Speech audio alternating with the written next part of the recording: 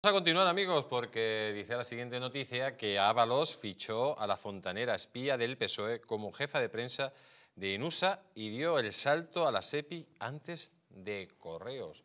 Estamos hablando eh, nada más y nada menos que del secretario de la organización y mano derecha de Sánchez, la pescó de los grupos de apoyo al líder procedente de Cantabria. Una vez los socialistas llegaron al poder, voló por libre.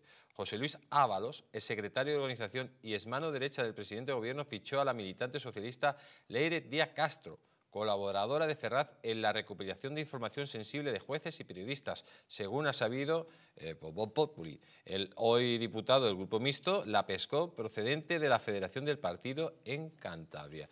Estamos hablando de Leire Díaz Castro, que es pues una, fontanera que junto a, Cerda es la que mm, preparaban estos informes y la que le encargaba estos informes a este empresario, que por cierto pues, eh, hacía estos trabajos a cambio de que Cerda pues, le echara una mano con la Fiscalía en, en sus casos judiciales.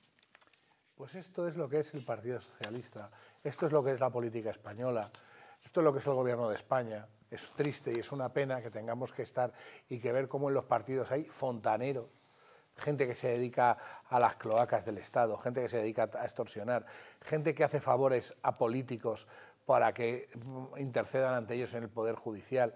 Pero ¿qué clase de democracia es la que vivimos?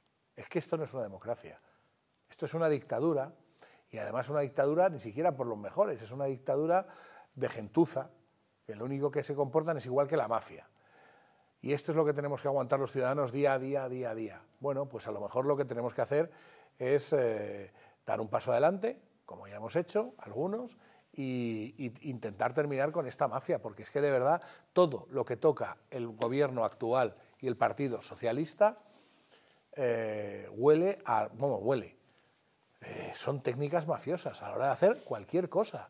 Entonces, tú vas viendo cómo se mezclan empresarios, gente del IBEX, policías, jueces, gente del CNI, cómo enfarran la Casa sabe la información que habla de que cuando Felipe González hizo las declaraciones contra Pedro Sánchez, fue hablando presuntamente desde Moncloa, fueron hablando una por una a las empresas del IBE para que no dieran ni un duro a la fundación de Pedro Sánchez. O sea, así se la gasta. Este sí, sí.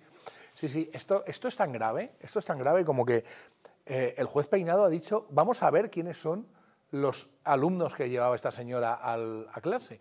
claro, cuando a ti los empresarios del IBEX 35 te están financiando, eh, te financian según ellos porque iba mucha gente a tu clase. Claro, ¿qué pasa? Que cuando tú tienes llamadas de presión del Partido Socialista para que des dinero al máster de la señora del presidente, eh, y tú, siendo un alto ejecutivo del, del IBEX 35, das ese dinero, ¿En qué se ha convertido nuestra sociedad?